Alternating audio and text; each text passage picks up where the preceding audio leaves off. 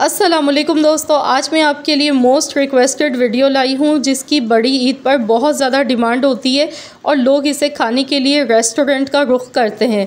तो अब आपको रेस्टोरेंट जाने की ज़रूरत नहीं पड़ेगी, आप घर पे ही बना सकते हैं, ये बहुत ही मज़ेदार सी रेसिपी तो चलिए रेसिपी देख लेते हैं तो यहाँ पर इस रेसिपी को बनाने के लिए आधा किलो मैंने गोश्त लिया है।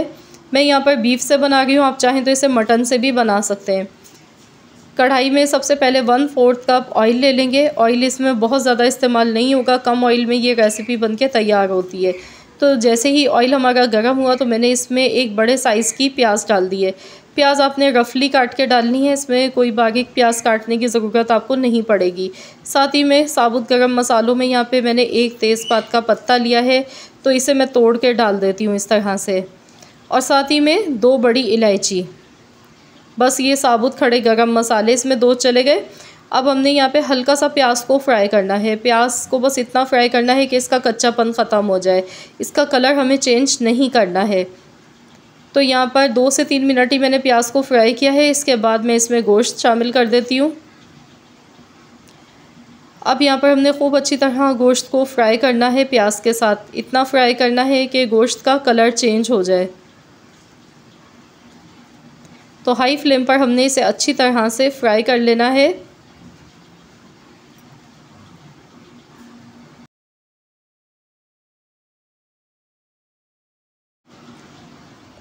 तो यहाँ पर देखिए, गोश्त हमारा बहुत अच्छा सा यहाँ पे फ्राई हो चुका है कलर चेंज हो गया है। अब इसमें एक टेबल स्पून भर के लहसुन का पेस्ट शामिल करना है।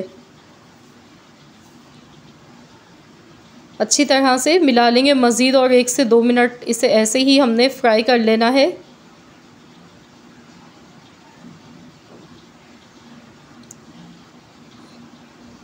तो यहाँ पर देखिए मैंने अच्छे से इसे फ्राई कर लिया है। अब इसमें हम हसब ज़रूरत पानी डालेंगे। यहाँ पर इतना पानी इसमें शामिल करना है कि गोश्त इसमें अच्छी तरह से गल जाए।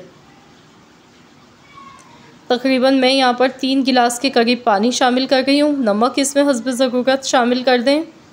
वन टीस्पून नमक मैंने डाला है, बिल्कुल काफ़ी कहेगा इस रेसिपी में। तो बस मैं इसे कवर कर देती हूँ और इसे हम पकाएँगे। लो टू मीडियम फ्लेम पर पका लेते हैं। इतनी देर तक जब तक कि इसमें गोश्त अच्छे से गल नहीं जाता है। तो यहाँ पर टोटल मुझे एक घंटा लगा है इसे पकाते हुए। बीच में भी मैंने एक दो बार चेक कर लिया था। तो यहाँ पर देखिए, पानी इसका सारा ड्राई होने लगा है। तो अब गैस की फ्लेम हाई कर देनी है। तो बोटी मैंने यहाँ पे चेक की थी, अच्छे से गल चुकी है। अब इसमें हमने दही डालना है। तो यहाँ पर मैंने एक कप दही लिया है। एक कप दही डालने के बाद इसे अच्छी तरह से मिला लेंगे। और ये इसमें तेज़पात के पत्ते का जो फ्लेवर है, वो आ चुका है। तो ये गरम मसाले साबुत खड़े, ये हम इसमें से हटा देंगे। तो इन्हें निकाल लेते हैं। अब हाई फ्लेम पर मज़ीद और इसे पकाएँगे। साथ ही में इसमें हरी मिर्च मैंने ली है। चार हरी मिर्च ली हैं। इस तरह से चॉप करके लिए एकदम बारीक। आप चाहें तो पेस्ट बना के भी डाल सकते हैं।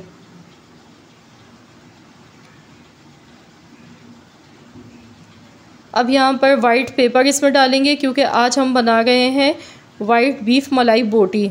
तो इसके लिए यहाँ पर वाइट पेपर मैंने लिया। वाइट पेपर नहीं है आपके पास तो आप यहाँ पर ब्लैक पेपर का इस्तेमाल भी कर सकते हैं, यानी कि काली मिर्च का पाउडर एक टीस्पून मैंने यहाँ पर वाइट पेपर डाली तो अब इसे अच्छी तरह से मिक्स करेंगे।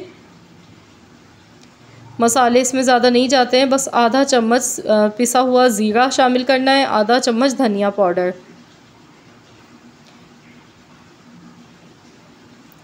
हाफ़ टी स्पून मैंने ज़ीरा लिया, हाफ़ टी स्पून ही मैंने धनिया पाउडर लिया है। अब इसे खूब अच्छी तरह से हमने पकाना है, भूनते जाना है। जब तक कि इसमें से ऑयल अलग से सेपरेट नहीं हो जाता है, तब तक पकाना है। तो यहाँ पर आप देख सकते हैं, ऑयल इसका सेपरेट हो गया है, ये देखिए। और एकदम से बहुत ज़बरदस्त इसकी भुनाई हो चुकी है, मसाला अच्छी तरह बोटियों पर लग चुका है। तो अब इसमें हमने मलाई शामिल करनी है। यहाँ पर मैं आधा कप के बराबर मलाई शामिल कर गई हूँ इसमें। क्रीम आप कोई सी भी इस्तेमाल कर सकते हैं, पैकेट वाली किसी भी अच्छी कंपनी की यूज़ कर सकते हैं। या फिर आप इसमें दूध की मलाई शामिल कर सकते हैं। इससे बहुत ही क्रीमी सा और बहुत ही मज़ेदार सा फ्लेवर आता है। क्योंकि मलाई हांडी है तो इसमें मलाई का इस्तेमाल किया जाता है, तभी इसमें बहुत ही ज़बरदस्त सा फ्लेवर आता है। अगर आपके पास मलाई मौजूद नहीं है, क्रीम के बग़ैर बनाना चाह रहे हैं, क्रीमी टेक्सचर आपको चाहिए तो फिर आपने इसमें एक गिलास दूध डालना है और थोड़ा सा आपने इसमें बटर शामिल करना है। तो इससे भी बहुत ही ज़बरदस्त सा फ्लेवर आ जाता है। तो यहाँ पर अब देखिए, मैं इसमें ऊपर से बारीक कटी हुई अदरक, हरी मिर्च मैंने डाल के इसे गार्निश कर दिया है और देखिए, देखते ही खाने को दिल ललचा रहा है, इतनी मज़ेदार ये हमारी बीफ मलाई हांडी बन के तैयार हुई है। क्योंकि इसमें थोड़ा सा मसाला भी है, देखिए। अब आप इसे पूरी पराठों के साथ खाइए इंजॉय कीजिए। ये बहुत ही मज़े की बनी है। एकदम मुँह में घुल जाने वाली। तो चलिए मैं आपको तोड़ कर भी दिखाऊँगी। पहले डिश आउट कर लेते हैं। तो देखिए, मैंने यहाँ पर डिश आउट कर लिया है। और देखिए, देखते ही, देखने में ही आपको अंदाज़ा हो रहा होगा कि ये बहुत ही मज़े की लग रही है। बिलीव मी खाने में भी बहुत ही मज़े की बनी है। इस तरह से आप लोग भी ट्राई कीजिएगा। ये देखिए, गोश्त भी कितना अच्छा गला हुआ है। ये देखें। बहुत ही परफेक्ट एकदम जूसी इसका गोश्त तैयार हुआ है बन के और बहुत ही एरोमेटिक सा जायका है इसका तो ज़रूर आप लोग इस रेसिपी को इस ईद पर ट्राई कीजिएगा और मुझे अपना फ़ीडबैक दीजिएगा, बताइएगा कि आप सबको कैसी लगी है मेरी आज की ये रेसिपी आई होप कि आप सबको ये रेसिपी पसंद आई होगी। रेसिपी अच्छी लगी तो वीडियो को लाइक कर दें शेयर कर दें। चैनल पर नए हैं तो चैनल को भी सब्सक्राइब कर लें। मिलते हैं इन ताला नेक्स्ट रेसिपी के साथ। तो जब तक के लिए अल्लाह हाफिज़।